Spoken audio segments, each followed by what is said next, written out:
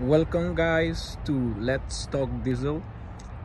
In today's video we're gonna talk about the after treatment assembly for Volvos between 2011 and 2006 years.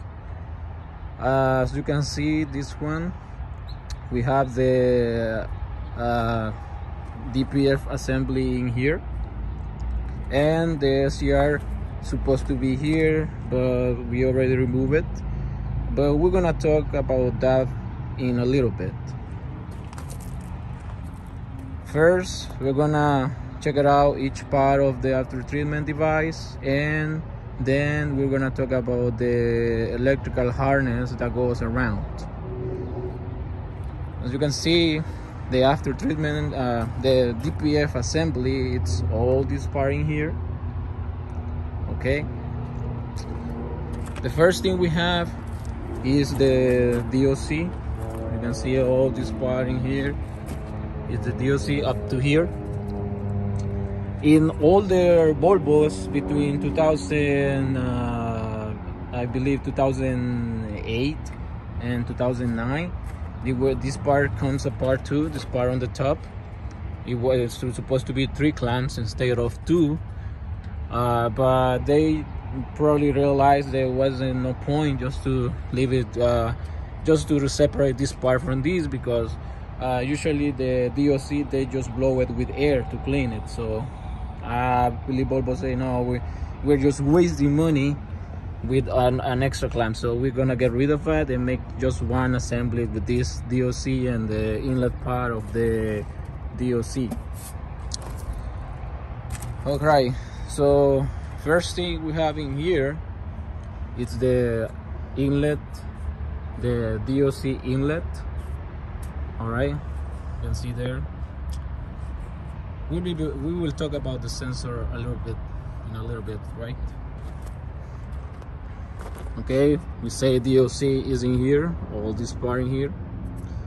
This part in here that you see this one in here is the DPF and the other part at the bottom is where the mix occur with the uh, DEF uh, with the DEF you can see here and it travels to the DOC to the sorry to the SCR all right these are the uh, if you want to put it this way four components for the after treatment device in the uh, in these Volvos DOC DPF the mixer chamber you can see in here.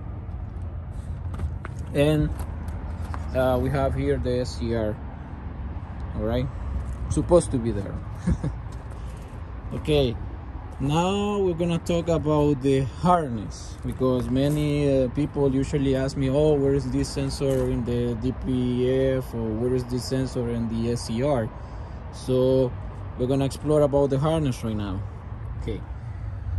This part that you see here the one that's uh, covered with the silver tape or the insulation tape uh, is the one that comes from the main harness okay the main uh, after treatment harness. So this junction in here this this junction that you see in here uh, first we can follow the harness from here. You can see it travels this way. And all this tangled harness you see here comes up to here. And you can see this is the sensor. This is the DOC inlet temperature sensor. That's the first one. Right now we're gonna just check it out the temperature sensors. You see the next one in here. You can see this one in here. Is the DOC or DOC uh, outlet temperature sensor or DPF in the inlet temperature sensor. They, they can be called whatever in you know in whatever the technicians wants. It has two names though. and the third one that's way here on the bottom you can see there is the DPF outlet temperature sensor all right so that's all about the sensors that's all the temperature sensors that uh, Volvo after treatment device with this design has. There's no another ones. Those, those, those are the only three. All right now we're gonna talk about the delta pressure sensor that's located here on the side of the of the filter on top of the uh, DOC you can see it has uh, three connections in here. And it has two uh, lines pressure lines. This is the one the thick one the thick line that you see in here is the uh, the inlet pressure the DPF inlet pressure. And the other line that you see the thin one the one that goes in the bottom is the DOC the DPF outlet pressure sensor. Okay? So that's about the delta pressure sensor uh, if you a little bit uh, one tip that I can give you to you guys if you see this part on the back is smoke is is black in here it probably means this part the, this small cover that you see on the back is broken and you should replace the um, the delta pressure sensor for the DPF uh, usually many driver had that problem. They says uh, doing regen constantly and that might help to your problem. That will be one of the issues you might have. Now we're gonna continue talking about the NOx sensors. Uh, Volvo has one NOx sensor located in here. This is the hole but the NOx sensor is missing. Um, and as you can see if you follow it should be around this way like this and go around here and connect to this in here okay? See we have four wires here and like let me see if it still has the name. You see this one you see dpf nox that's what i do like from volvos. Their tags really last real a lot compared to that one. The problem is like sometimes they paint it with the uh, with the chassis and they messed up then then you cannot see it anymore the uh, the name of the and the harness the name of the connectors. But that's cool. They really last. And the last one the, the NOx that's the inlet right? And this is the outlet that you see hanging in here. Because it's supposed to be uh, the elbow supposed to be like this in here holding like this together with this part in here in here. And you can see this is the the NOx outlet sensor. That's the last sensor that you will find in this design for the SCR right now I'm gonna take my time to talk about the SCR but before we start talking about the SCR I want to show you where the NOx sensor connects. And as you can see we already talked about the part on the bottom but as you can notice this truck has no cab. So it's easier to show you guys where the NOx sensor connects. As you can see that's where it connects inside the chassis you see close to this chassis over there. It's actually well insulated compared to other NOx sensors that I have seen. They're really close to the after treatment device. So you can see if you follow this if you follow if you follow this line here you see it goes way down there. Okay? And you can see this part of the harness okay? This part of the harness is where the NOx sensor connects okay? It goes way back to it goes way back here. Let me remove this. You can see if we follow go way here and connects in there. Mm -hmm, to here. Okay? And the last part about the after treatment assembly it's the DEF injector. You see it's not here anymore but and they already cut the wires because probably they need the connector. Uh, but it's easy to remove just one two three screws uh, Torx 5 uh, we have the coolant lines in here two coolant lines and um, the DEF line coming from the pump. Uh, uh, another tip that I have for you guys if you don't find any coolant leak you should look around this area. Sometimes these uh, little hoses they break around this area in here or on the back. Uh, let me see if you can see it here. They usually break from this part in here too yeah you see over there these two uh, they break from this. So if you have any coolant leak and you cannot find it it might start leaking from there. Uh, but you, they usually break like completely. They start leaking a little bit and then completely broke. Uh, so pay attention to that.